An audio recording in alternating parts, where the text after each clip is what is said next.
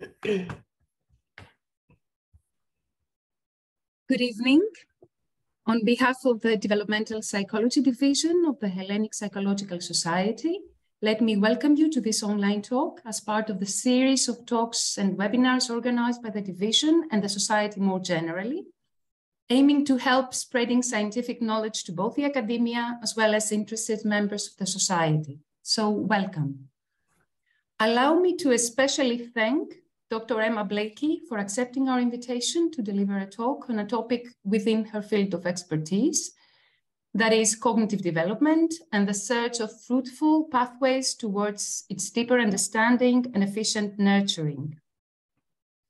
Dr. Blakey is a developmental psychologist, a senior lecturer at the psychology department of the University of Sheffield, and part of the Sheffield Cognitive Development Research Group.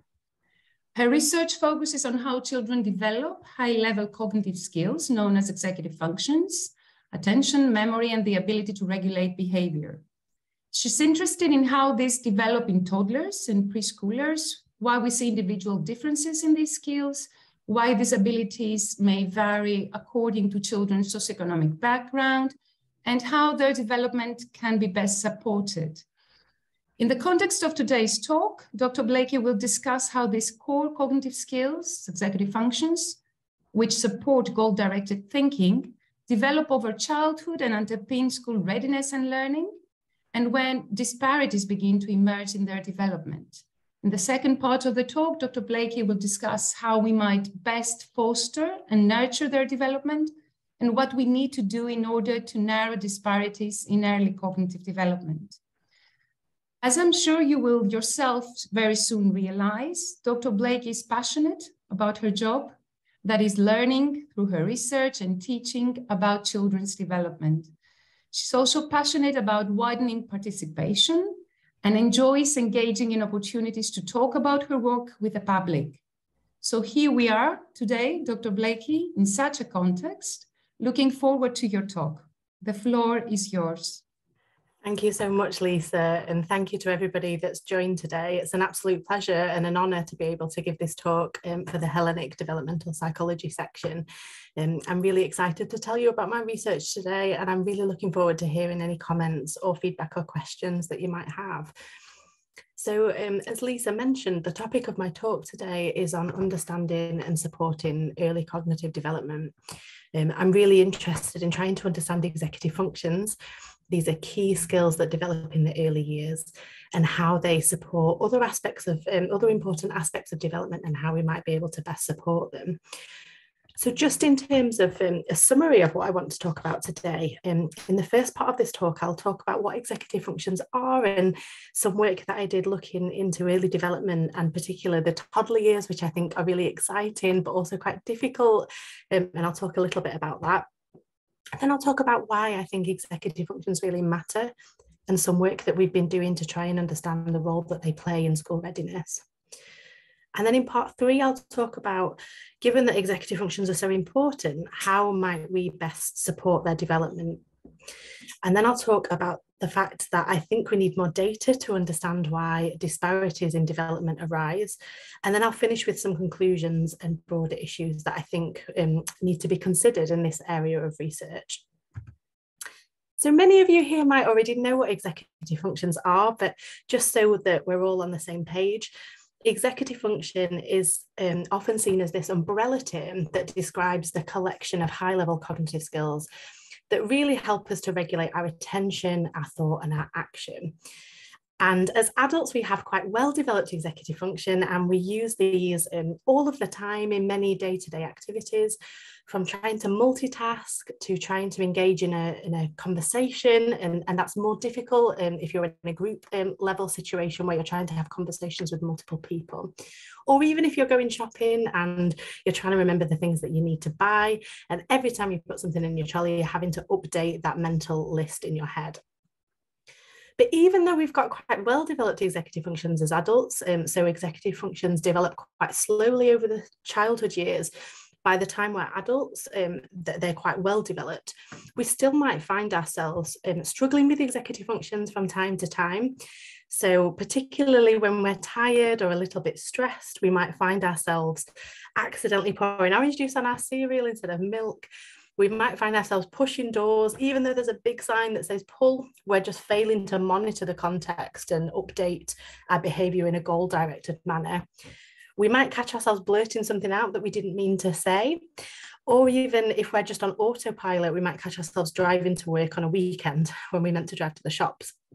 So these kind of autopilot behaviors are kind of signature of not um, using our executive functions to engage in that goal directed thinking. And, and it can often happen when we're tired or stressed that this happens.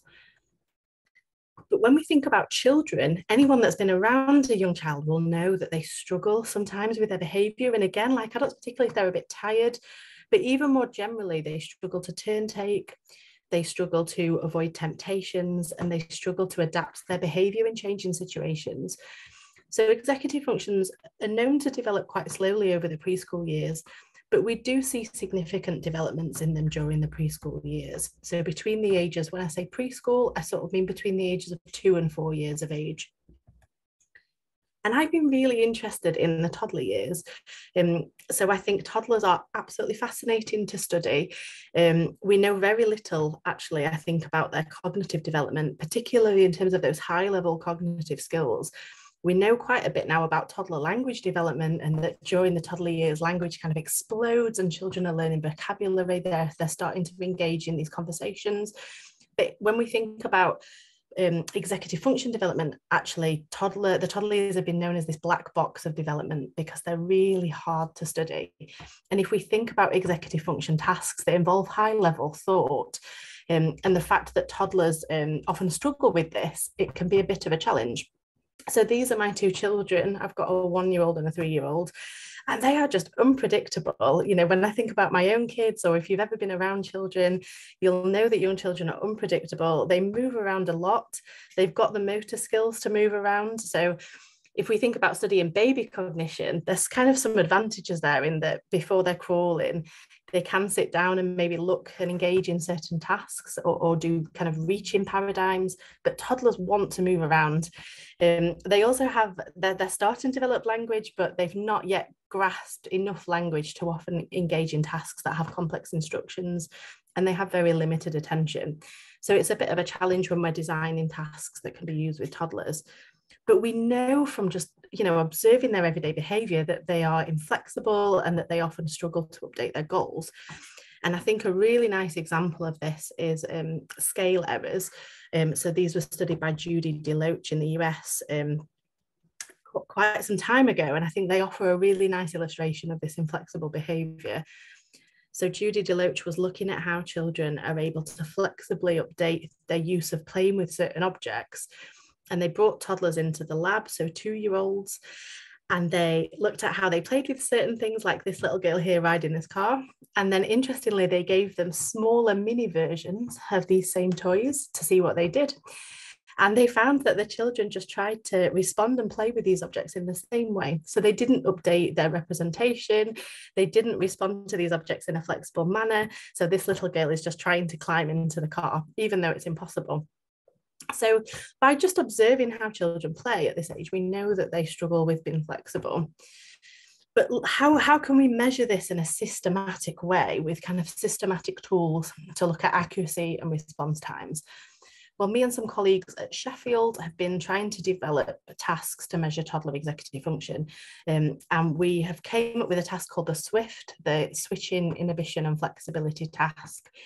And we really like this task because it works well with toddlers. We've been using it from, from when children are about two years, four months, right up until they're four.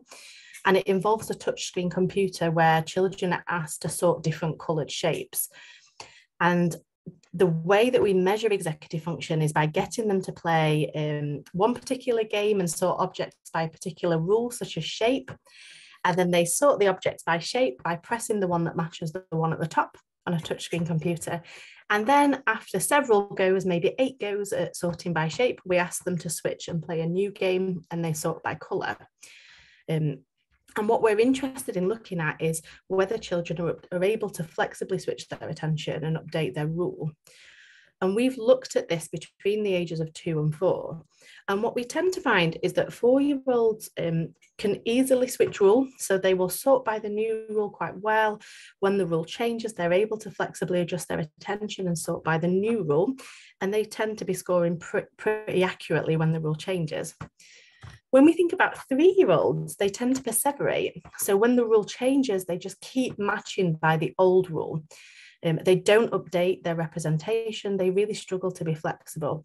So if they sort by colour, and then after several goes have to switch and sort by shape, they just continue to sort by colour in quite a systematic way. So they get a score of um, zero. But interestingly, when we use this task with two-year-olds, we found quite an interesting pattern of performance. The two-year-olds are what we call mixed responders. So we find that they can sort by the first rule well. So if they're having to sort the shapes, for example, by colour, they will sort by colour. But then when the rule changes, they don't switch, they're not able to be flexible, but they also don't perseverate. They don't keep sorting by that first rule they get about half right and half wrong in a really unsystematic fashion. So, what's quite interesting here is that the two year olds are actually scoring more than the three year olds, even though their performance is unsystematic and it's not goal directed. So, what's quite interesting here is in, in prior research, perseveration was considered the starting point of development, that young children would perseverate with the old rule and score zero. But we're actually finding that if we go below the age of three and look at early development, actually, although they're scoring higher, they're doing this in a really unsystematic way and there's an absence of goal directed behaviour. So, just to kind of talk about that a little bit more, we think that perseveration, so getting it all wrong, seems to reflect children's memory beginning to develop. So, if we think about a child that has been sorting by shape and then has to switch and sort by colour, the children that are perseverating, they're just remembering that first rule so strongly, and that's guiding their behaviour. So if we imagine that this girl is three and she's asked to sort by colour, she's just remembering what she did before and sorting by shape. And so systematically getting this wrong. But two year olds, we think they don't even have the memory representations to remember what they were doing before. So when they're asked to go from sorting by shape to colour, that shift in attention that's required is just too difficult. And they neither can systematically sort correctly, but they also can't systematically remember what they were doing before. So they just perform in this mixed responding manner. So, what does this mean? We think that four year olds are starting to develop quite strong, flexible memory representations to guide their behaviour we think that the three year olds are starting to, to develop strong memory representations, but they can't yet update these. They can't yet use these to engage in flexible behavior. And the two year olds, we think that they have a double whammy of very weak memory representations and also inflexible memory representations.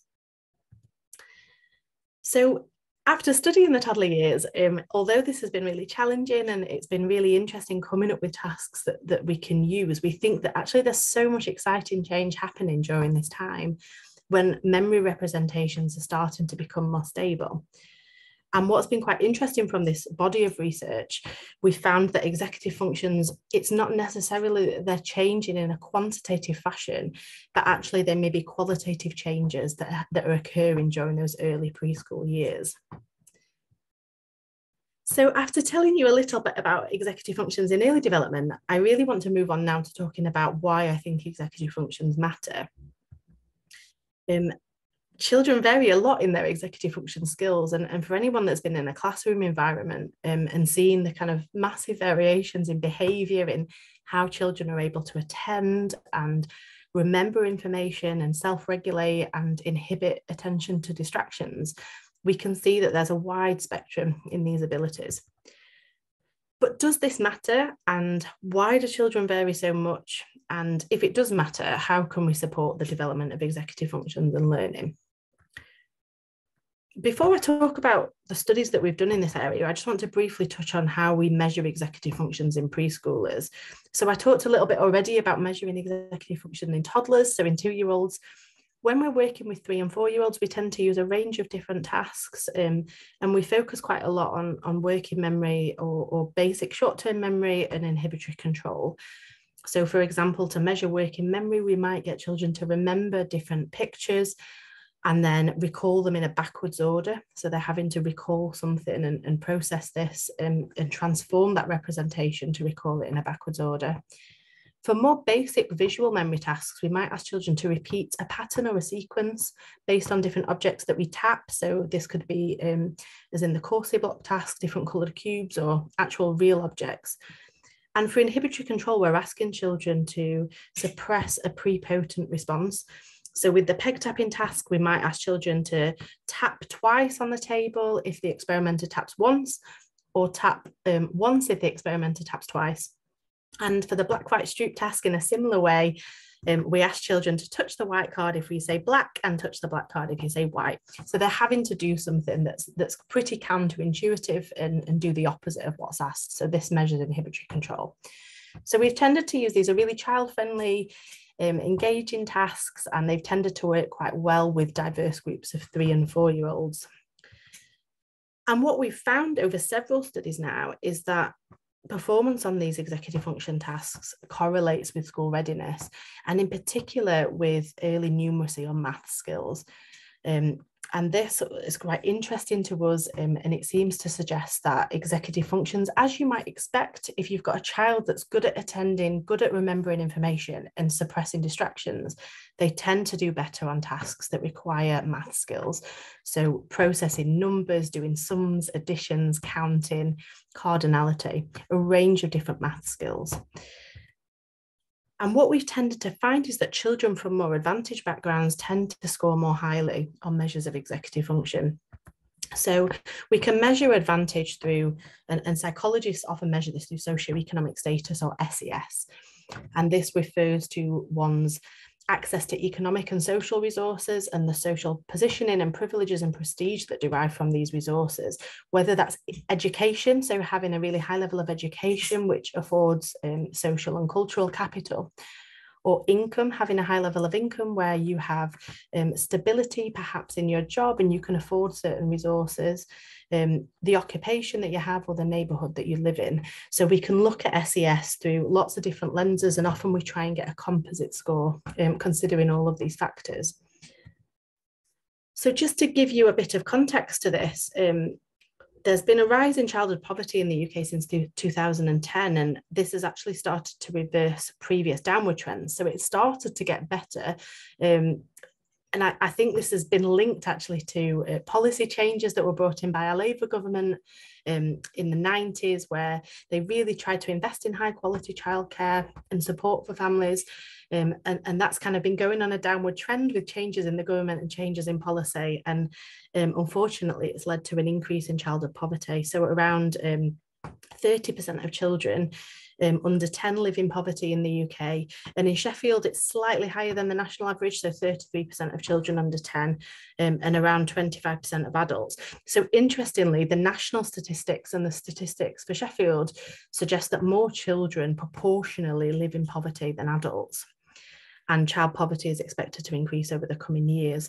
So we're living in quite social socially unequal times and I've been interested to try and see what the impact of that might be. And when we think about how social inequality might shape development, there's multiple correlated pathways through which social inequality might shape one's development more broadly. So when we think about development in terms of well-being, not only cognitive development, but thinking about um, one's well-being and, and aspirations and um, access to um, opportunities, there's these multiple interrelated factors. So we can think about a, a, kind of a basic but fundamental level access to food and heating and adequate housing um, and good nutrition, access to opportunities and high quality childcare. And then we can think about these collection of kind of family related factors like cognitive stimulation, parenting knowledge and practices, social and cultural capital, and also thinking about psychosocial stress, stresses both in parents and in children. And psychologists, we tend to focus on those factors on the right, I think, um, when we're thinking about aspects of development. But it's important to also remember that they're really fundamental factors like nutrition that we often don't look at. That tends to be more what health researchers or biologists look at, but this is obviously really important as well. So, multiple factors that might be playing a role in explaining how social inequality shapes development. And I think Bronfenbrenner's in ecological systems model really highlights these multiple pathways quite nicely and um, thinking about that kind of macro system um, that the culture in which we're raised and the policies and laws and traditions of that culture. Um, we can think about the exosystem, the extended family, like friends, mass media, the school that we go to, and the neighborhood that we live in. And then that microsystem, which is kind of more um, closely linked factors like family, um, the child's own skills and preferences, um, and peers. And again, as psychologists, we often focus in on that middle part. And I think I'll come to this at the end, um, but I think it's also important to take into account the wider factors that are at play. So I really wanted to mention this model because I think it's important. So why is understanding this important? Um, well, there's lots of research now to suggest that um, gaps that are linked to inequality widen over time. So socioeconomic inequalities in development are known to be cumulative and to compound over time. So gaps tend to widen, they don't tend to stay stable. And identifying when they emerge so that we can support children early on has often been argued to be the best approach because if we think about these gaps widening over time, we need to put things in place to stop that happening um, and both economically but also you know from from a responsibility level to the children and the families intervening early before those um, difficulties embed and, and widen is really important. However, when we look at the literature and we think about a lot of the literature that's been done on socioeconomic status and cognitive development, a lot of the work either focuses on older children, and I think partly that's because of the measures that we have and the tools that we have, or the studies tend to use quite broad level measures of cognition, um, which really limits theory development. I think it limits our ability to really understand what's going on and the mechanisms that are at play. So some of the research that we've been that been doing in this area, I'm going to talk about two of the studies that we've been doing um, recently. Um, so in one study, we worked with just under 200 preschoolers um, from South Yorkshire, and we tested them on various measures of executive function. And we looked at, in the UK, we have this really great tool called the Index of Multiple Deprivation, where we can get the postcode from where somebody lives and at a street by street level in the UK, all of these areas, almost 33,000 areas, have been ranked according to different levels of deprivation. Um, so, looking at things like the income of the area, um, employment and education, but also looking at things like the living environment more broadly. And we were able to find that just under 50% of our sample lived in 20% of the most deprived areas of the UK, and 30% lived in the 20% of the least deprived areas of the UK. So for this study, our sample was very split between children that were living in very advantaged areas and children living in. And we found that socioeconomic status was related to executive functions and early math skills. So we tested children on a range of different tasks. Um, and when we think about overall executive function and create a composite latent factor, um, we found medium-sized effects um, for, for SES on, on overall executive function and maths. And when we break this down as well, you can see that this seems to be um, driven by influences on inhibitory control and working memory, um, and less so on basic visual spatial memory, so a short-term memory task. So this suggests that the tasks that are more complex in terms of the executive function demands and perhaps also language demands seem to be showing the stronger SES effects than more basic cognitive skills. So we wanted to follow this work up and we were conscious of the fact that for this study, we had to divide our sample um, in a kind of categorical fashion because when we looked at the data, around half were living in the lowest, some of the lowest, most deprived areas of the UK, and then almost half were living at the opposite end of the spectrum. So in the next study that we did, we wanted to get a continuous sample, so try and get children living in all different areas um, along the 10 deciles um, in terms of advantage and disadvantage. So I had a really great PhD student working with me, Ella James Brabham, um, and she did some work with 145 preschoolers from a range of different SES backgrounds. Um, so we had a really nice continuous score of SES in this study. And again, she replicated the finding that some of the large, largest correlations were between SES and the tasks with higher executive function and language demands, so the tasks involving inhibitory control. And we also measured language in this study and found that language in terms of receptive vocabulary was strongly related with SES. And again, replicating this finding that it was less so for visuospatial basic memory. So just to summarise um, this research, we also found that the socio-economic related attainment gaps across three different studies, we found that they correlated with early mathematical skills from age three. So from as young as age three, we find that um, the disadvantaged children were performing lower on these measures of math skill.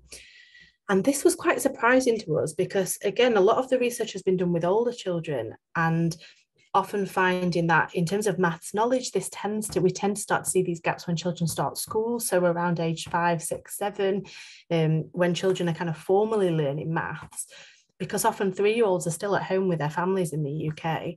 Um, so this suggests that there are factors at play very early on that are influencing early math skills and how children are learning about number and shape and pattern. Um, through several different studies, we found significant indirect effects from SES to mathematical skills via children's executive functions. So this suggests that the SES gaps that we're seeing in early math skills might be partly driven by differences in executive functions. And we can imagine that there might be other influences, for example, the home learning environment. Um, we've done research on this that I'm not going to talk about today, um, but quite interestingly finding that when we look at the frequency of maths activities in the home, it doesn't have an effect. Um, but there's interesting caveats to that that I'd be really happy to talk about at the end. But for now, our biggest findings from this research seem to be that executive functions are mediating this relationship. And the knock-on effect on early maths really does matter. Um, so lower SES children who begin school with less maths knowledge, um, they this again this tends to widen over school and it makes sense when we think about maths as a subject that this would happen M learning maths is it's a cumulative subject and so understanding those early concepts um, basic things like counting and having a really good strong grasp of number and spatial awareness. These are foundational skills that are really important for children to go on and learn more advanced maths. So it makes sense that if children are starting out on an unlevel playing field, those gaps are just going to widen over time. So in terms of take-home points from, from this section of the talk, um, our research has been finding that social inequality influences early executive function development and that lower SES children tend to score lower on measures of executive function. And we think that this has a knock-on effect in early maths through executive functions. Um, and this is a problem because these children are going to be at a disadvantage when they start school. So given that we know that executive functions really rapidly develop in the early years and we start to see disparities really early on, how can we then best support cognitive development? So I wanted to start by just briefly talking about randomized control trials. I think that coming up with really rigorously designed randomized control trials or interventions with a control group, these are really great for testing evidence-based ways for supporting children's development and learning but also been able to more theoretically able be able to test causal mechanisms. So a lot of the, the work that I've just told you about is cross-sectional or longitudinal, um, and, and obviously the longitudinal work gets a little bit at, at causal relations, but not really fully because it's not fully, it's not an experimental uh, study and we're not able to fully look at causal mechanisms. So I think RCTs have been really helpful about these randomized control trials for trying to look at that and also test evidence-based ways for, for supporting children and families. And we started out thinking about this, like maybe a lot of people did in cognitive and developmental psychology who were working on this topic years ago. Um, so I think back back maybe in 2017, there was so much positive talk that cognitive training might um, might might work and might help children. Um, so we wanted to test this idea um, that if we train executive functions directly, does that that support children's development? Do we see improvements? So um, we started this study in 2017 and ran this for a couple of years because we were trying to aim for a big sample and a really rigorously designed program. Um, we designed an executive function training program for preschoolers that importantly had very little overlap between the train tasks and the outcome measures because we wanted to see if cognitive training would genuinely improve executive functions, not just that children were getting better at, at specific tasks, um, learning to respond quickly to certain stimuli or, or certain feedback. Um, so we did the program that we did in which we measured improvements, we did that before and after the program. These tasks were very different. We made sure that they were different so we could really rigorously test this. And we tested this intervention in around 200 preschoolers. Um, and we were really keen to, again, get socially diverse children involved in this study. We pre-registered the study and we also followed be best practice guidance, so CONSORT guidelines for this study, um, which is kind of the gold standard for randomized control trials. We had an active control group, for example. And what we found was that while we saw improvements over training itself on the training tasks, we found no robust evidence of transfer to executive functions or math skills. So when we gave children the untrained tasks that measured the same construct, but with different tasks, we found no um, evidence that, that there were improvements on these tasks compared to an active control group. Um, and this supports a lot of recent meta-analyses that have just come out looking at whether cognitive training seems to be effective for adults and children. Um, but I guess it's still a bit of a puzzle because if executive functions and early maths are correlated, why doesn't cognitive training, where we kind of really focus on executive functions directly, why doesn't it then transfer um, to early learning and executive functions as well, just at a baseline level? Um, so we started to think about this some more, and I've been really lucky to be working with um, a team of researchers at the University of Oxford, where we've been thinking about how if we want to improve executive functions and the learning activities that are associated with executive functions, perhaps we need to actually just embed executive challenge into the learning activities themselves. So the idea would be if the aim is to say improve early maths, let's think about how we can build executive challenge into early maths, nothing that's too difficult where children would just struggle, but nothing that's too easy where children are not getting to practice. And then they start to get that kind of gradual practice at using their executive functions. And then we think that this will lead to deeper learning of maths concepts, but also help children to develop strategies to help them use maths. And, and this in turn will lead to better maths performance. So I've been working with um, Professor Gaia Scerif um, and, a, and, a, really great large interdisciplinary team where we've been um, working on a program called The One, which stands for Orchestrating Numeracy in the Executive.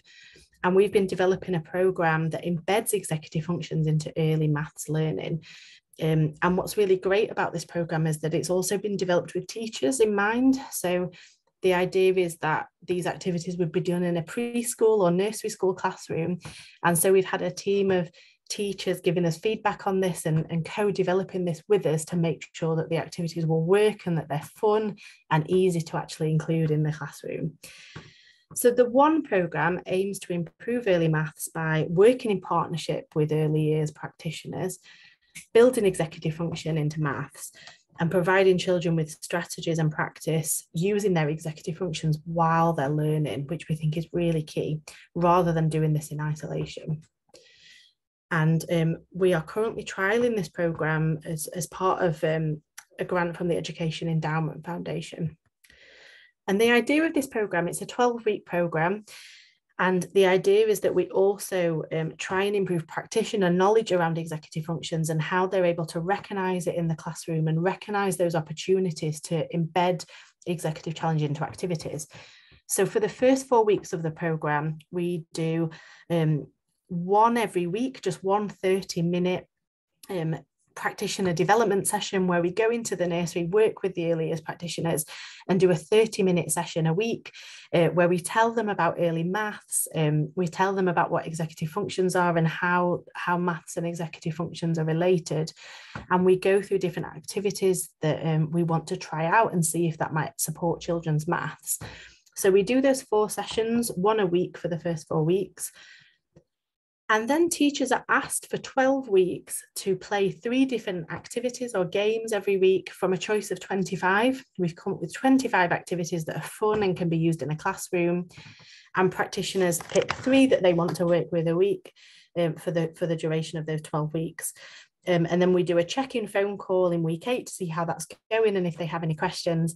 And then at the end of the study, we do an informal interview with the teachers just to see how they found it and get their feedback.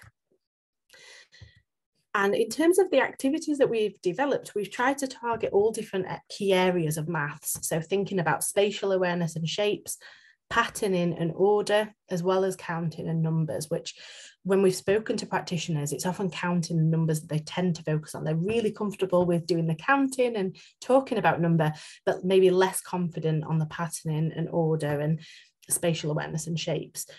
But we've also thought about how it can be embedded in free play activities because free play is obviously just a really important component of these informal settings when children are very young.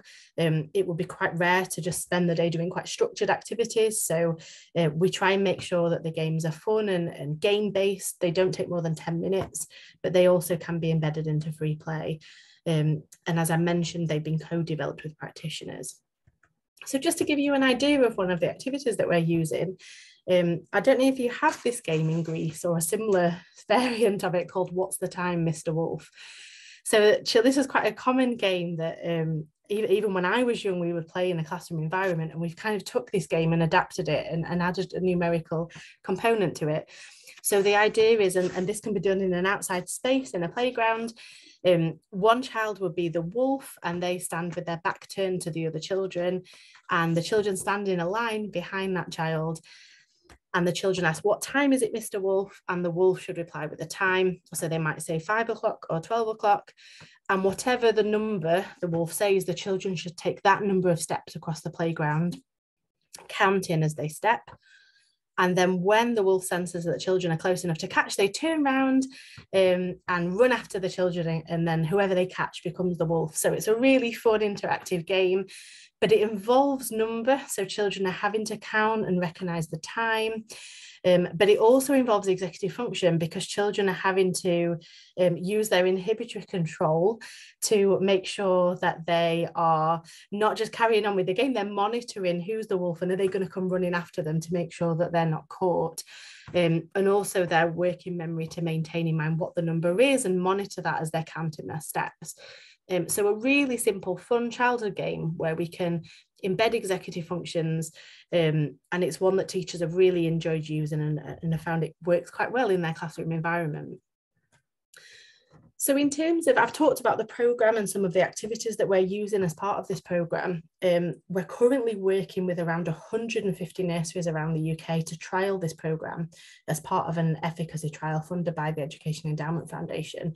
And the idea is that um, in autumn this year, all the schools that we've got on board, so we're currently trying to recruit these nurseries and it's the most I've ever recruited for us to be 150. It's been really interesting and challenging, but fun. Um, and, and teachers seem to be really enthusiastic about taking part. Um, we have the idea is that we get the schools on board and children would be assessed on their executive function and maths in autumn. And then in the spring, they would take part in the 12 week programme and then the children will be assessed again to measure the change over time. And then we also have a waitlist control group. So we've got a comparison to, to schools who are just business as usual. Um, so we're really hoping to get more insight. Um, by the end of 2025, we will know if, if uh, this seems to be working and we will ha be having thousands of children taking part in this. So we'll be able to be really confident in the results we did a smaller feasibility study with 12 nurseries um, last year, and we found some positive effects on executive function and maths. But the idea is now to roll this out on a wider scale and see how the teachers are finding it, but also with that having that higher statistical power to see are there genuine improvements from this program. And it'll be really exciting to see if that's the case. So the take home points from this, this um, section on supporting executive function development is that I think training executive functions directly, I think we know from kind of lots of studies now, our own work and um, lots of work that training executive functions directly doesn't seem to work. Um, and the idea is we think lower SES children might be getting less practice at using executive functions in the context of learning. Um, so we're thinking that if we can try and embed executive functions into the learning activities themselves, this should be supporting children's not only their executive function but their learning and um, stay tuned to see whether that is the case we should know in a few years So I now just want to go back to thinking about SES disparities in, in executive function. I think it's good to already be thinking about how can we design interventions to support development. But then on the other hand, I think we also need more data to try and understand why do we see these disparities. On the one hand, we could intervene and try and support executive functions and learning directly through the program that I've talked about. But I also think there are these wider factors at play. And if we can try and get a more mechanistic understanding of why these disparities are happening, that will, uh, well, one, it will help with theory development, but two, it will help us develop more well rounded interventions um, that can, can best support families. So why might disparities arise in executive functions? The reason I think that we need more data is that actually the theories at the moment are quite limited. Um, there are two quite prominent theories at the moment that um, discuss why we might see socio-economic disparities in executive function, but they are quite broad and quite vague. So the cognitive stimulation theory is quite promising, um, but again, it's really broad. So it just talks about this idea that perhaps higher SES children, so advantaged children, they tend to just receive more cognitive stimulation overall. They have more resources for playing, they have enriching extracurricular activities, they're read to a lot, they attend better quality daycare. And it's this combination of factors that leads to this more cognitive, cognitively stimulating environment but what that actually means like what does cognitive stimulation mean and why do we see specific effects on some executive function tasks but not others? Um, there's still lots of questions we need to answer. Another really prominent theory is stress models that talk about the fact that disadvantaged children tend to experience more stress both directly, so through neural networks that underpin executive function, but also indirectly through the stress um, shaping parenting practices both of these different factors and the stress that families might be experiencing might have a knock-on effect on executive functions. Um, but this doesn't really cover other aspects of cognition like language um, and it also tends to focus more at the very low end so children and families living in poverty when we know that these um, the socio-economic gradient in cognition tends to be across the whole spectrum so even very, very advantaged children, very high SES children and middle SES children, there are still these differences. Um, so we sort of need theories that can account for that variation across the whole spectrum um, and give more specific detail on the mechanisms um, and the specificity of the effects and the fact that they seem to be more on language and high level executive function tasks. So, what about language? I think that language might potentially play a really important role in explaining why we see SES inequalities. So, language development is um, heavily linked to input from the home environment, and there's a lot of research on language and vocabulary in particular, finding that socioeconomic status um, is quite linked quite strongly to language development. Um, and the paths for language are much clearer. So, language is um, it has really heavy input based on what you're hearing in the home. Um, the, the words that you hear and the range and the quality of the conversations um, and the language input that you're receiving will will really have a strong impact on your own language. For executive function it's much less clear how the home would directly shape executive functions but perhaps there are pathways from language to executive functions and this goes back to Vygotsky, uh, who really kind of pioneered this idea that language and interactions play a fundamental role in high level cognition. Um, and when we think about the kinds of rich parent child interactions that we often see where parents have been responsive, particularly in situations where a child might be struggling with a task. Um, you can see just these beautiful interactions where that rich language is playing out and, and responsive parenting, that back and forth where parents are helping children to develop self-regulation skills in that interaction. Um, so the idea is that language and regulation might co-develop as part of these interactions. And of course, parent sensitivity and their ability to be responsive will really vary widely as a function of a family's social and economic circumstances, their cultural norms, their preferences, but also their constraints and circumstances. So we can see how SES might have a knock on effect on the ability for parents to be responsive and sensitive in interactions. And then that might have a knock on effect on children's ability to develop language and, and self regulation. And then both of those in turn might influence executive function development. So that's the idea. Um, but we really need more data to understand how this might be playing out. Um, so as I mentioned, I think current theories are quite broad and hard to test. And there's very little research looking at young children, which is when these disparities are already setting in. Um, so we need this more basic mechanistic work to look at early mechanisms, but also consider the broader contextual family factors that might shape parenting preferences and approaches. So I think it's probably not enough to say, um, you know, very low SES parents might be struggling to be sensitive in that interaction without actually considering why and, and the challenges that they may, may be under and also thinking about what those families are doing well under really difficult circumstances.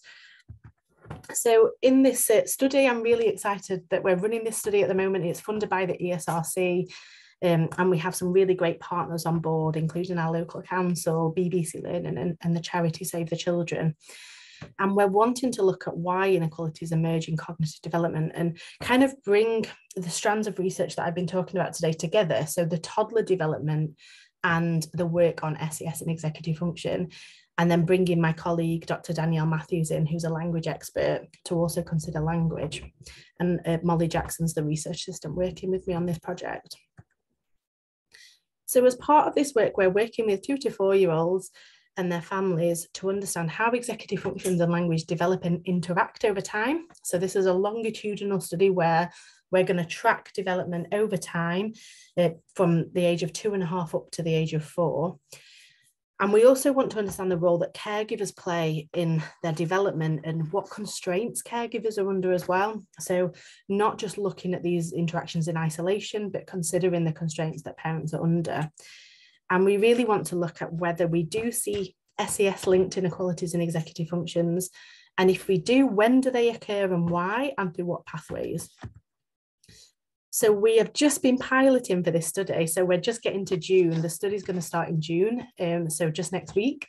And it's an 18 month study and it's going to run from June to November next year. And we're going to be working at time one with children who are between the ages of two and a half and three. Um, and we're going to be looking at their language ability. We've got three different measures of this, and I'm happy to talk about those measures if anybody has any questions at the end um, or now. Um, we've got three measures of child executive function, and we are going to get the parents and children to engage in a play-based interaction as well, um, where they complete some jigsaws and, and play like they would at home, um, so we can derive measures of parent responsiveness and scaffolding. And then we're also going to look at broader factors that might feed into that interaction. So looking at parent mental health and social support and time pressure and just broader stress and parent thoughts around home learning. So that's wave one. And then we're going to follow these children up six months later with the same measures of language and executive function. We're also going to add a qualitative element to the questions that we ask at wave two that I'm happy to talk about again later if anybody's interested. Um, and then we're going to follow children again six months after that. And with the same measures of a language and executive function, we're also going to get a measure of um, parent executive function at this time point and a measure of children's school readiness to see how these factors predict school readiness over time. So in terms of the parent-child interactions, we're wanting to bring parents um, into the lab or we're going to go to their home and they're going to play with some games and then we're able to look at how that interaction is playing out um, in, in that situation. And since I've become a parent, I've really kind of it's really hit home how parents do um, such an important job in nurturing development and mitigating the impact of potentially detrimental contextual factors on development, like poverty, like housing insecurity or income insecurity. Um, many parents are doing an amazing job in really difficult circumstances. Um, and research has shown that parents who are responsive and who tune into their child's attention and talk about what their child is looking at um, often have children whose cognitive skills um, develop more quickly and we want to look at the evidence for this in a very diverse sample and look at how contextual factors shape this as well. Um, and I'm happy to talk more about the measures that we're going to use as well if people have questions. But this is our overall hypothesized model. Um, and I appreciate that this is quite quite big and there's lots of different factors. So happy to talk about this in more detail. But the kind of key take home points are that we're wanting to look at how SES shapes growth in executive function during this really pivotal time in development when these skills are rapidly developing between the ages of two and a half and four. And we're wanting, as part of this, to look at several mediating factors. So, parent cognitions and how that feeds into scaffolding and parent responsiveness, um, and how language as well shapes this. Um, and we're going to ask parents about their stress, their social support, their time pressure, and also their confidence in their parenting. And then we have three different measures of language and three different measures of executive function that we're going to use at every time point. So take home points from this part of the study where I just think we need more data to understand disparities. And this is what I'm really hoping the Sheffield Early Years study will tell us. Um, there's obviously a combination of interrelated factors. It's not going to be a simple story about why we see disparities in early development. Um, there's going to be this combination of factors that shape um, how social inequality has this knock-on effect on cognitive development. Um, but I think it's really important that we try and understand this and uh, we can then use this to build better models um, so that we can test these and also know where to focus our intervention efforts so that they have the most impact.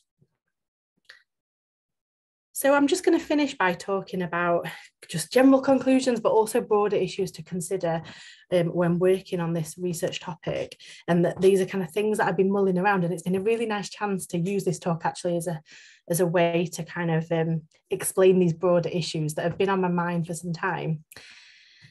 So one of the issues I think in working working in this topic area and with this age group, and one of the things that's come up time and time again, and as I mentioned, we've been piloting this last month for this study.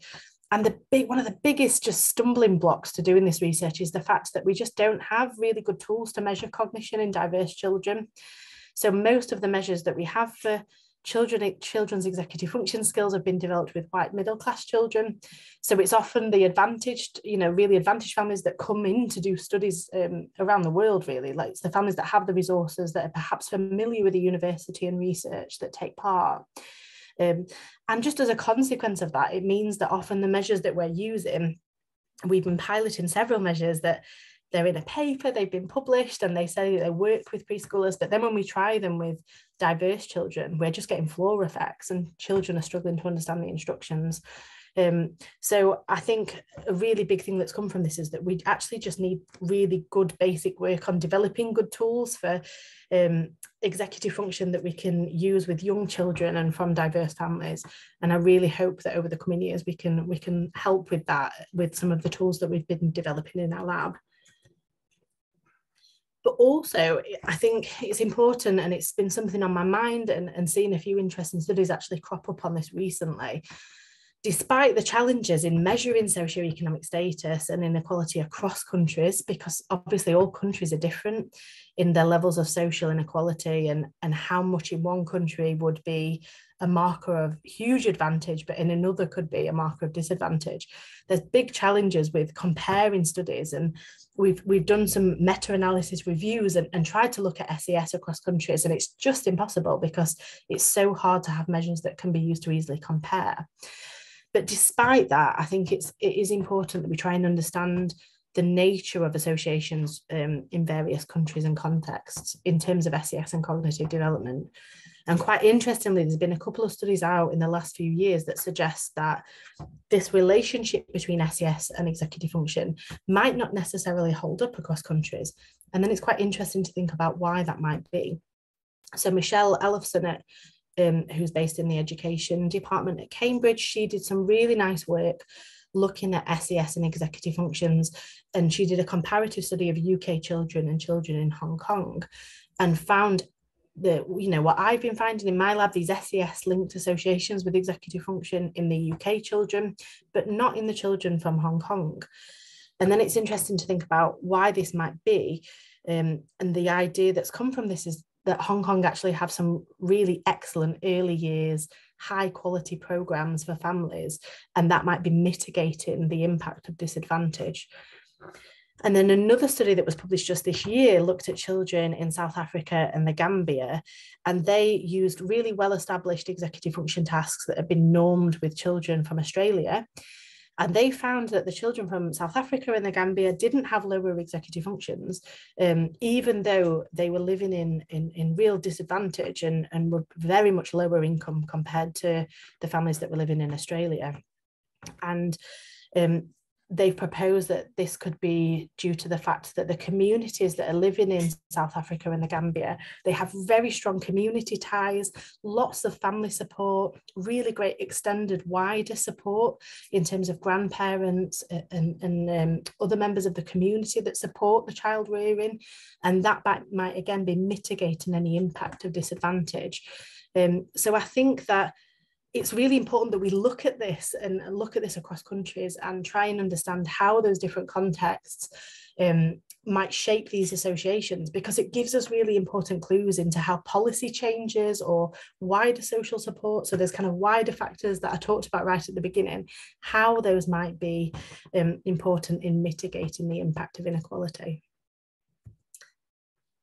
And then the third point is something that's really been on my mind as well that we just need to ensure that any work that we do that looks at disadvantaged families, and particularly work that looks at parenting styles or responsiveness, that if we do find an association with SES, that it doesn't then get published in a way where we're saying that those families are not doing a good job, because those families are often doing a harder job.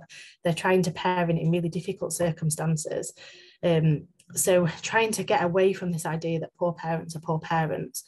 There's a really nice study that came out by Cooper looking at thousands of families um, using questionnaire data in the UK and finding that the families in the very low income brackets actually scored higher on several areas compared to those in the middle income brackets.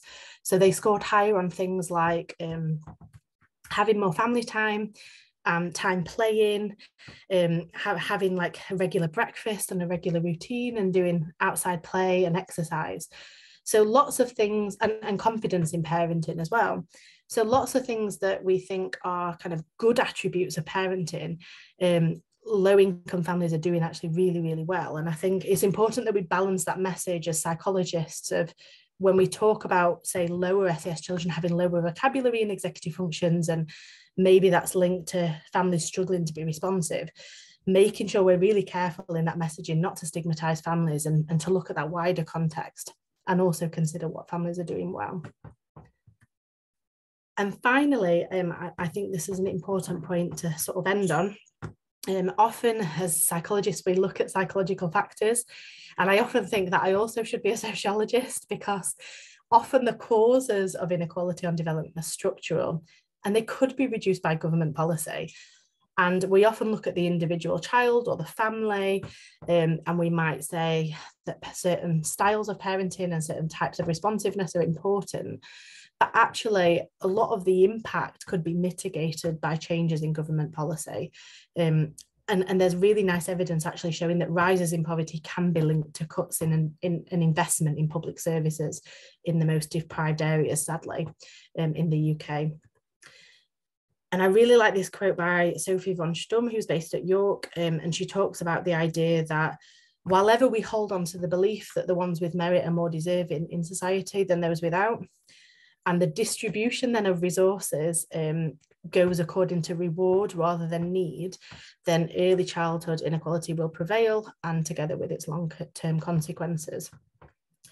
Um, and I really hope that by you know being aware of this and the structural issues it's still really important to do this kind of basic cognitive work that documents the effects on early cognition and also understanding the constraints that families are under in that broader context because hopefully then we can use this work to push for more support for disadvantaged families um, and the thing that I would really love to see in the UK is high quality universal childcare um, which I think would have a massive impact on mitigating these inequalities.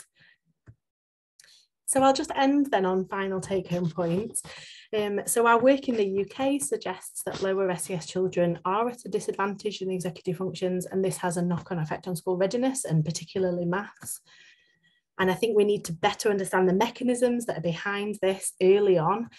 Um, and I think that interventions are really useful for causally looking at things, but they need to be carefully designed both to be supportive of families and not stigmatizing, um, but also thinking about what do we want children to improve on and making sure we're not just looking at things in isolation. And in doing this work, um, being be, it's really important to be aware of how these relations hold up across context and looking at also barriers um, and structural issues as well.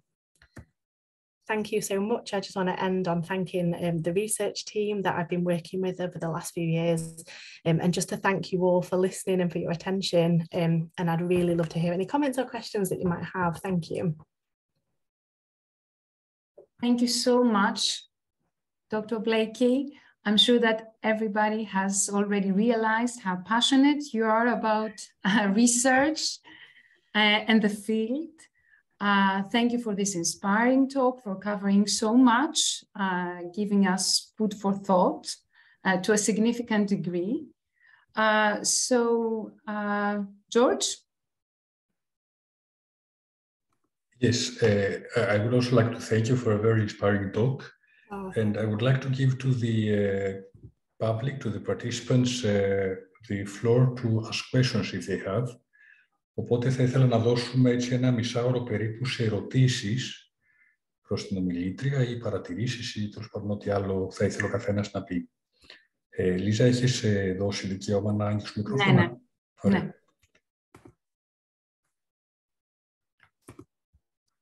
Υπάρχουν κάποιες ερωτήσεις; Any questions for Dr. Blakey?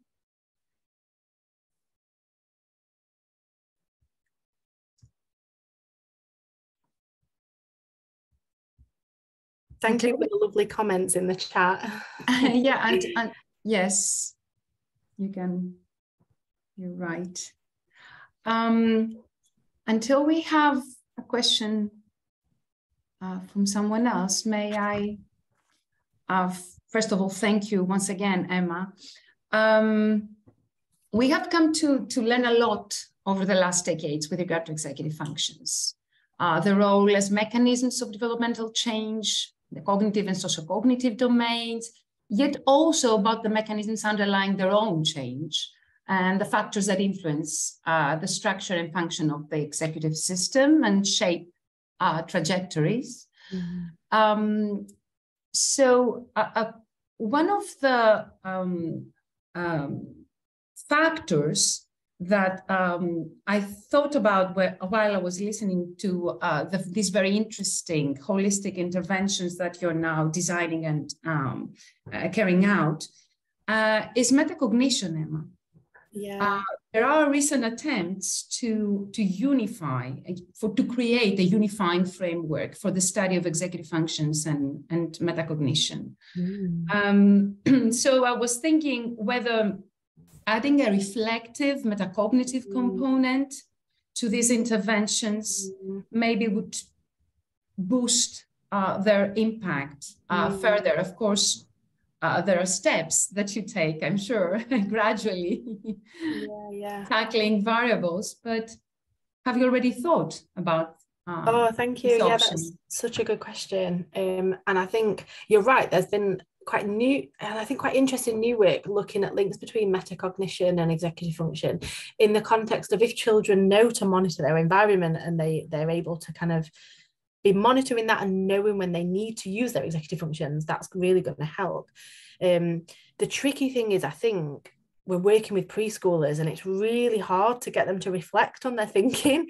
Um, I'd be really happy to hear anyone's thoughts who've tried to do this with preschoolers. Yeah. I get the impression from like five and age five and six, there tends to yes. be more chance of getting them to reflect a little bit. And I think you're right that when we're thinking about interventions for executive function, it's sort of missing a component if we don't also think about that. But with young kids, it's really hard to measure yes. that and get them to do that. Um, but definitely mm-hmm. teachers, it's it's been important. So thinking about that intervention when we're getting teachers to um, do the activities in the classroom, um, metacognition's coming out as quite important. So when we think about teachers reflecting on their knowledge and how their knowledge of executive functions is shaping what they're attending to in the classroom, that seems to be important. Um, yeah, this this was another point I would make. Yeah. So, so you know, the environment should also um, be supported in supporting uh, the executive functions. You're right about the age, but you mentioned uh, longitudinal design. Yeah. So I was yeah. I was thinking that maybe later yeah. this might yeah. be worth uh, also studying mm-hmm. in combination. Yeah, that would be interesting. Yeah, where I study at the moment, they're going up to four, but fingers mm. crossed, it'd be great to get funding to go further. I was already thinking about this. Depends on the sample size that we get. We're aiming for 250 families, but it's it's hard post COVID. I don't know if, if anybody else is doing developmental research in the audience with children and just the climate that we're doing it in at the moment. Um, getting access to families it's it's a lot harder than it was a few years ago um, so i'm just really hoping we get a big enough sample and then we'd be able to maybe follow them up a bit more um, and think about adding in measures like that yeah, thank you. Yes, because taking into account developmental prioritization of cognitive abilities, mm-hmm. you know, with increasing age, as well as a differentiation of these functions, yeah. which we all know that is uh, of great interest, uh, might be, you know, worth focusing on. Yeah, yeah, thank you. Uh, we have a question in the chat. May I read it? Mm-hmm. Uh, the question is Are there significant differences between boys and girls in the development of executive functions? Mm, oh, good question. Yeah, we we don't tend to find differences in in basic cognition. I know that there's some research with language suggesting that sometimes girls start to learn vocabulary slightly quicker than boys. Um, but over the studies that we've done, we don't tend to find consistent differences. But it will be quite interesting in this longitudinal study to look at that more because um, we are not only going to include measures of kind of more cognitive classic executive function tasks, but a more behavioral measure as well. Um, it's one I've never used before, and it's a behavioral task called the gift wrap task. Um, it's quite fun to administer. I don't know if anyone's ever used this task, where you get children to try and not peek while the experimenter is wrapping them a gift at the end of the session, and then you can you can measure, you know, are, are they able to regulate that? Are they looking? How often are they looking? um, how often are they turning around um, and, I, and I don't know maybe we will see gender differences in that with it being a more behavioral skill but I, it, yeah I don't know so far we haven't with the more cognitive measures if I may follow uh, with this question, uh, I wonder if you would uh, expect, based on theory, such differences. Uh, the what, sorry? Would you expect, based on the theory, would you expect to find these differences that you don't find? I don't think there are many theories that talk about this. It's more anecdotal stuff from parents. When parents come into the lab, they are adamant that the girls are better self regulated. Um, and we've never seen that, you know, we haven't seen that play out in the cognitive tasks. Um, but yeah, so many parents seem to have that impression. But I think that's just to do with social norms and what people expect of young girls and what people expect of young boys. Um, so that's why I think it would be interesting to see how it does play out in that more behavioural task. But I don't think that there are any theories that would that would kind of postulate that we should expect to see gender differences in that. It's more anecdotal. And this idea that girls are better at sitting and listening, but I don't know that that's necessarily true. Okay, thank you. Ε, υπάρχει κάποια άλλη ερώτηση από το κοινό. Κυρία Ράλια, έχεις την καμερά της. Mina? Ναι, το κατάλαβες Γιώργο. Uh, thank you very much for the very interesting talk. I really enjoyed it because I work with the, this uh, age group, preschool oh, years, in the domain of language. So I was really excited with all this evidence you presented us. Thank you. Um, as I saw from your presentation, you've looked and you found relationships between language as this was measured with vocabulary Mm-hmm. Uh, receptive, expressive, and executive functions with the three with the three tasks: uh, memory, cognitive flexibility, and uh, what was the other one? I can't remember. Um, self-regulation. Okay, self-regulation. Um, I was wondering whether you have studied uh, the relationship between language and executive function, and when you have, uh, as a language measure, narratives. Ah, yeah. either retellings or free narrative, because I assume that executive functions may involve and may have a relationship yeah. with yeah. language when measured with language. I think that's a really good question. Yeah, my colleague Danielle Matthews, she's really interested in, in that actually, because constructing a it, constructing a narrative, it's very com- you know, it, you can see how that would require working memory to put that together, to not include dis- be distracted, to not include irrelevant information, to think flexibly. Um, the tasks that we're using in the longitudinal study, we're going to be looking at not just receptive vocabulary, but also how children are using language in a naturalistic interaction with their caregiver. So we're going to look at how much they're talking to their caregiver during that play-based interaction to try and get a more naturalistic measure of language because the receptive vocabulary measures, I just think it tells us something, but it doesn't tell us much. Um, it tells us you know what's been transmitted maybe but not not how they're using language um, and we've got a measure called the early years repetition battery which requires children to repeat uh, repeat sentences um, so it's not narrative. And again, I think that's because the three and four year olds that we're working with at the moment, and especially with them being from quite diverse backgrounds, they're already struggling just to repeat sentences. And I don't know whether that's, yeah, perhaps that's kind of normal for, for that age and, and being a diverse sample, but there's perhaps also a COVID impact. I'm really aware that we're working with COVID parents as well, and the children have been relatively isolated at this point. Um, so I think maybe looking at narratives later down the line as the kids get older could be interesting. Um, but for now, I think that could be too challenging. But yeah, it's an interesting idea that executive functions would would relate to that and also pragmatic aspects of kind of conversational turn taking so i'd be keen to look at that as the study, study progresses and i'm excited that we've got these parent child interaction videos where we can kind of pull pull these different measures out from that in a more and it's not ideal it's not you know it's not just taking a snapshot of their interaction as they would be doing at home. They're still in the lab or they're at home but with a set of toys for five minutes but it's still better i think than just relying on a standardized measure. Okay thank you. So we will be waiting for the results. Thank you. Thank you Uh, I would also like to ask something, if I may. I find the, the whole presentation very interesting. many points just uh, uh, brought questions in my mind, but I would like to, uh, to ask the one that is uh, more uh, pronounced in my head. I was wondering if this knowledge that you have over all these levels of influences, if it affects the way you are parenting your children, which I liked a lot that you brought them to discussion. So kind of shouted to me I should ask this. Oh, I love that question. Yeah, I love that question. Do you know what? I genuinely think that I don't like. I think I think because I'm looking at um, families that are often in extreme disadvantage, and when we think about the effects as well, like. I think good enough parenting, it's really important to put out this idea to parents that being a good enough parent is enough. And I find that really reassuring to think that actually children just need love. They need a, you know warmth and cuddles and um you know but, you know and then you've got the you've got the cherries on top you know you've got the basics like you know they need food and they need warmth. But then i think that additional layer is just being a warm and open parent. Um, and actually i would have thought that doing the research that i do i would really push the learning of stuff. But you know, I really see you don't have time often to do this with parenting young children. And I think, yeah, trying to read when you can. I try and do a bedtime story every night. Um, but I think the most important thing is to um, just love your kids. and so I try. I'm, I'm, I'm really, yeah. I think when I do this work, we get a lot of parents in the lab asking, like, "Have you got parenting advice?" And I think just trying to take the pressure off parents and say you're already doing a really hard job and um, times are difficult. And just maybe like if you want to you know just love your kids and if there's any extras you want to do maybe try and read to them.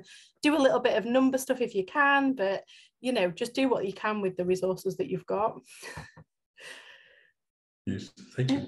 Emma if i may add as this might seem uh, relevant might be relevant um, so you're focusing on low SES uh, uh, families and their children mostly. Um, and I was thinking, what about, you know, hot executive functions? What about um, tackling the levels of stress, uh, ways, ways to, to deal with that, not only at uh, uh, focusing on children, but also mm. working with the parents, as you have just mentioned yeah uh, that. Yeah. Uh, because as we are uh, studying the influence of SES, which is a rather ill-defined, you know, yeah. variable, and we, you need to to identify the mediators actually of yeah, this relationship with executive functioning and uh, cognitive development more generally, or academic uh, skills. So, what about that? What about uh, this aspect of mm. of uh, of the system? Yeah, that's a good question. Yeah, I've got a clinical student who I'm working with actually that's that's really keen to add in some measures of stress and try and understand that a little bit more in this study. And it's been really nice working with her on what scales might be best. And we've come up with a collection of scales looking at general life stress, but also psychological distress to try and tease apart parents that might have general day to day stresses that impact on their parenting, but then the difference between parents that are experiencing, you know, real genuine psychological distress as a result of mental health. Um, but then also asking questions around time pressure because um, and maybe that's just because I feel that time pressure as a parent and I really want to look at it in other parents. But I think parents are often so time pressured. And so the time that you get to engage in these kind of really responsive interactions, it's, it's so limited. Uh, so I want to look into that as well and look at how, how that varies among families from different um, socioeconomic backgrounds. And there is a lot of research to suggest that things like stress might have more of an impact on hot executive functions than cool executive functions. And so this is why I've included the gift wrap task, or we're, we're piloting it at the moment. It might not work. We're going to try it. We've been just this last week. Um, so I'll be I'll be sitting down with my researchers next week to look at that data. Um, but yeah, I was keen to try and have more kind of cool executive function tasks that I, that I know are reliable and valid, but also include a kind of a broader measure that can look at self-regulation or hot EF. And the gift wrap taps wrap task seemed ideal because we can just tag it onto the end of the procedure and it only takes a couple of minutes, but potentially is quite a nice measure to get. Mm-hmm. So it'll be exciting to see how that plays out. Yeah. Mm-hmm. Uh, we have uh, one more question in the chat. Um, is there one executive function that is more pivotal than the others and can promote the development of the others? Oh wow, what a question! I think this would really depend on on on what you mean by important, and um, yeah, if if you mean by if you were thinking about what executive functions might be important in explaining early maths, I think different researchers would have different ideas um, about that and perhaps that changes over time as well so I like to think of working memory as a kind of really solid starting point for executive function that maybe underpins a lot of other executive functions because in order to be able to inhibit or flexibly adjust your attention, you need to have a good, strong working memory to update your goals, remember your goals. Um, so I think working memory, and actually there's some researchers that just consider working memory as the executive system in and of itself. Um, but I think as if we're thinking, say, about the role of executive functions on learning, um, some researchers have proposed, for example, that working memory is important in the early years, but then it shifts and becomes more about in- inhibition as children have to like switch between different maths operations. Um, so it sort of depends on the domain and the developmental stage. Um, but yeah, what what a great question.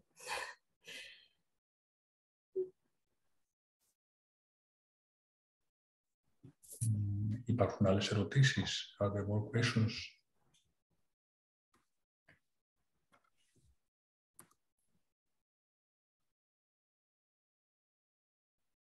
Can I ask one more if there's no other yeah, uh, possibility? Yeah. It's it's also related to you. Sorry, I'm, uh, I was working in therapy for years, so uh, yeah. personal stories are very interesting for me.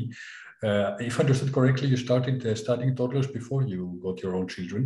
So I was wondering what uh, why you found it so interesting as an age group.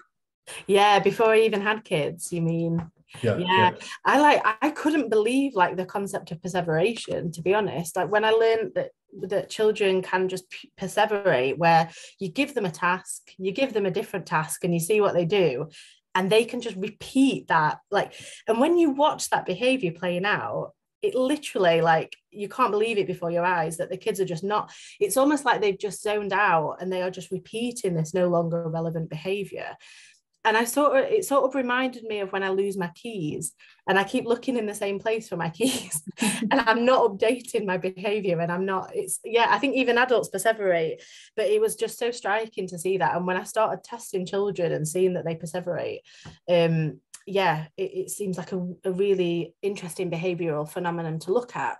And then we were thinking about toddlers, and well, will toddlers just perseverate? Because if this is the lowest form of behavior on an executive function task that we know of, what are toddlers doing? And then it turns out that there's an even lower form where you're just unsystematic and you're not even able to remember that prior representation and have that guide your behavior. You're just unsystematic when you're required to be flexible. Um, and yeah, that was absolutely fascinating. And I did have to bring my th- three year old in to do some piloting for this today And she perseverated. And I was like, so interesting to see your own child like doing a switching task and just perseverating. And, and she's right, she's three. So she's right in the perfect age bracket to perseverate and then it's really funny because when we're when we've been working with the families on these tasks because we're working in the lab the families are there they're in they're in the room and they often get very panicky about it. They see their child just doing it wrong and they get very worried. So it's nice to be able to say actually this is completely normal and my own child did this and um, we totally expect this at this age um, but yeah, I think the concept of perseveration is fascinating, but perhaps what two year olds do is even more, even more fascinating. Thank you.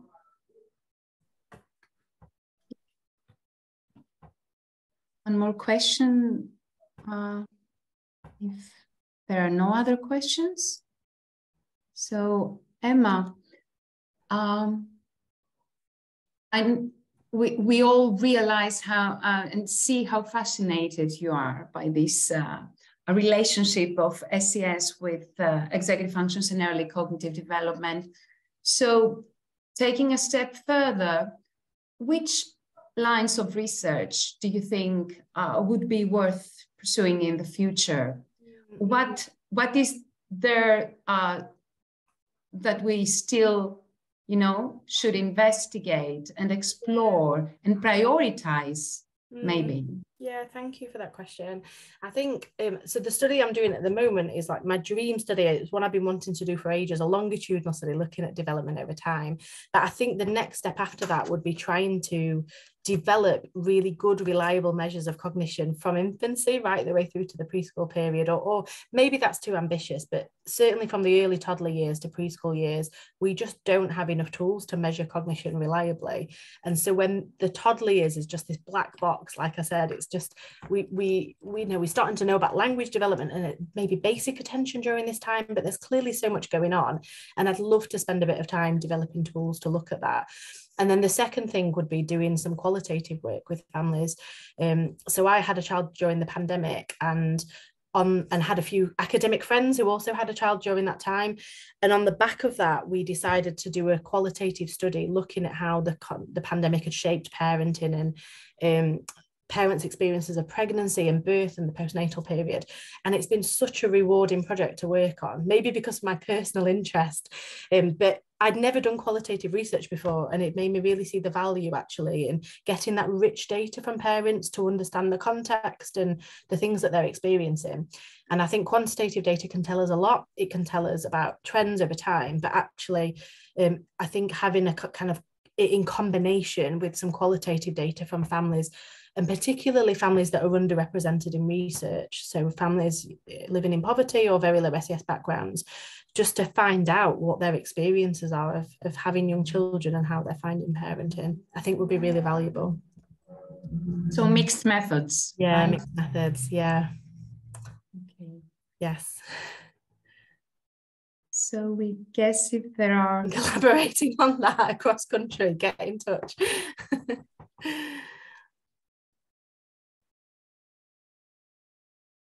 there any other questions? No? So thank you so much, Emma. Thank you so much for being here, for accepting our invitation, for giving this really interesting and inspiring uh, talk with regard to early cognitive development. It has been a pleasure. Um, Yorgos? Ε, ευχαριστούμε και όλα το, τα άτομα που συνδεθήκατε σήμερα για να παρακολουθήσετε την ομιλία αυτή. Uh, many thanks to everybody who uh, got connected to uh, follow this uh, very interesting talk. Και ανυπομονούμε να σας δούμε σε επόμενες εκδηλώσεις μας. We look forward to see you in other uh, things that we organize. Oh, thank you so much. Thank you, everybody. Ευχαριστούμε πολύ όλους όσοι ήταν εδώ. Thank you so much for being here, everybody. Thank you, Emma. Thank you. Thank you. Good luck with your work. Good luck with your research. Thank you. All the best. you. Bye. Thank you so much. You have so many thank you comments in the Oh. chat. Really kind. Thank you, everybody, for coming and for your lovely comments. thank you so much. Bye, everybody. Thank you. Bye. Bye. All the best.